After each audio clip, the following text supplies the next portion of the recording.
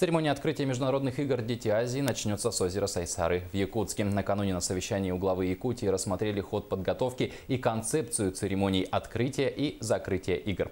Вариант, который представили главе, предполагает, что действие пройдет в форме массовых театрализованных представлений, концертов и эстрадных шоу. При этом площадкой для них станет не только сам стадион Туймада, но и озеро Сайсары, откуда начнет свой путь огонь игр. Таким образом, увидеть красочное представление и приобщиться к духу соревнований смогут еще больше якутян и гостей столицы. Егор Борисов также внес свои замечания, попросил сделать церемонии более динамичными. В конечном итоге с помощью различных приемов и способов подачи даже незнакомый с якутской культурой зритель должен ощутить ее уникальность и заложенные в ней общечеловеческие ценности.